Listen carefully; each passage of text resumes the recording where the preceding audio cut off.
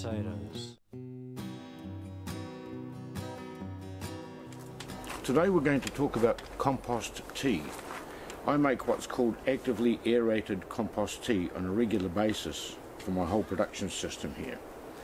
Now there are little ones that you can buy that are just a little kit that just have a little standard uh, aquarium bubbler, a 20 litre one.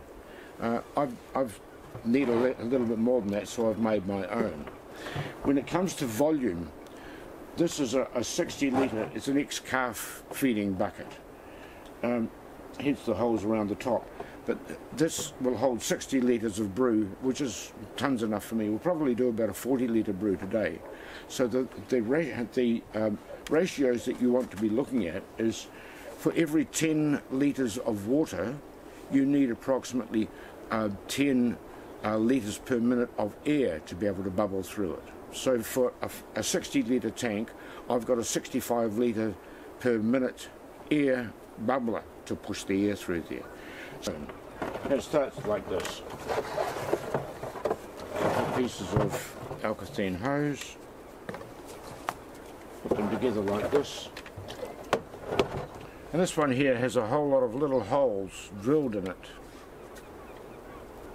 all the way around and it's made on a put on a little T-junction like this air blown through here at a great rate of knots blown through here back out through the little holes so we get an intense push of air coming up through the through the ring at the bottom there and bubbling into the water.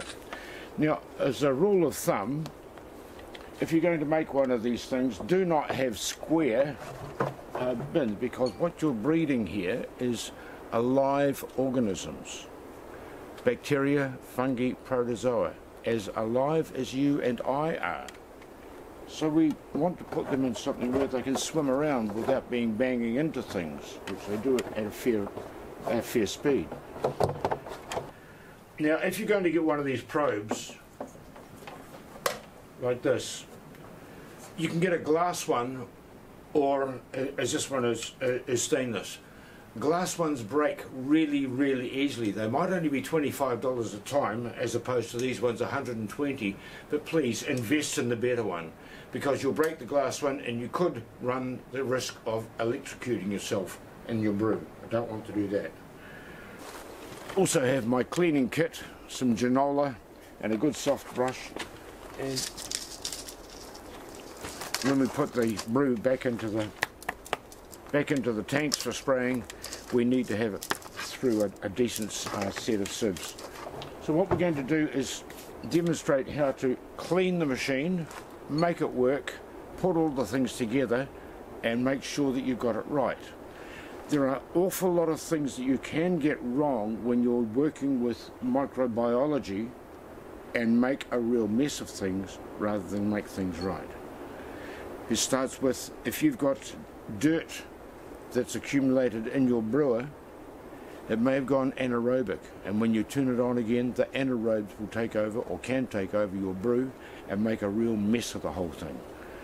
You don't want to be putting anaerobic uh, organisms on your soil at all. It's going to